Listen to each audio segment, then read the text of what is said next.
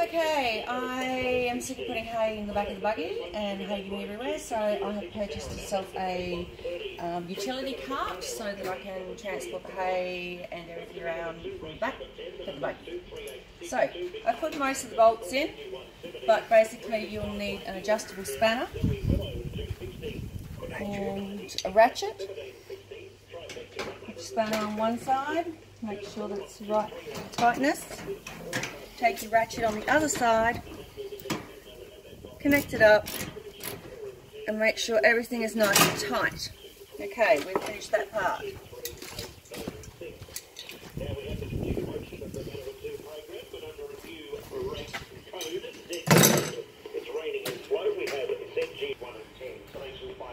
Okay, now we're going to assemble the handle. Just line it up, bolt through time to check out the details on race number one of this war. The numbers there 10, 7, Thank you, Washer. 10 the winner through the storm, 1880 and 467, 10, $1, 3 Maringas, 90 510. Same way as we did before. Spanner on one side, ratchet. $1,124.20. Scratching was number one. It's paying Make sure it's going the right way. Seven, three, and nine. Details coming through after race number three at Ballarat is three, seven, and noted good heats the third between one and six. Trinidad Ray and Darren Allen. The winner number three, Unique Honor, 580 and 280. Seven, Arika Jenna, 160. Good eating for third. One, Shimmy That Ray, 130. Six, Darren Allen, $1 for number $13, took that to $49.80. Trifecta on 371 69 Trifecta on 376 to replacing.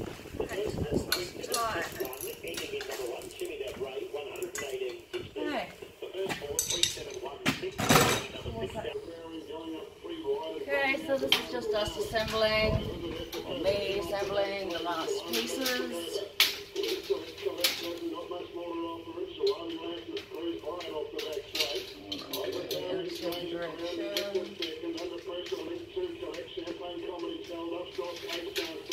Okay. So all sides should be able to fold down.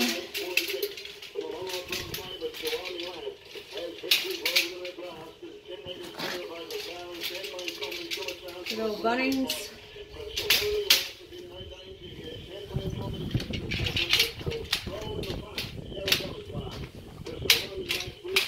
And there we have our trailer for hay.